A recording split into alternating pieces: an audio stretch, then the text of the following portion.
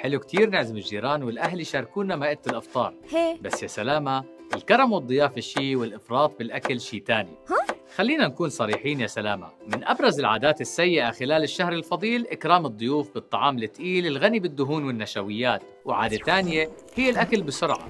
فبنحاول نعوض صيام 13 ل 17 ساعة بأقل من ساعة واحدة من الأكل. أوه. وصحيح بنكون بحاجة للسوائل بس شرب كميات كبيرة من المي خاصة الباردة بسرعة على الإفطار بضر. فالأفضل نعوض بالسوائل بالشوربة والخضار. وللأسف برمضان بننسى الفواكه لصالح الحلويات. هي. وبعترف يا سلامة أنه ما في مهرب من الحلويات الرمضانية. لكن نتركها لبعد ثلاث ساعات من الإفطار ونجرب نكتفي بقطعة واحدة بس. وقصدي قطعة صغيرة.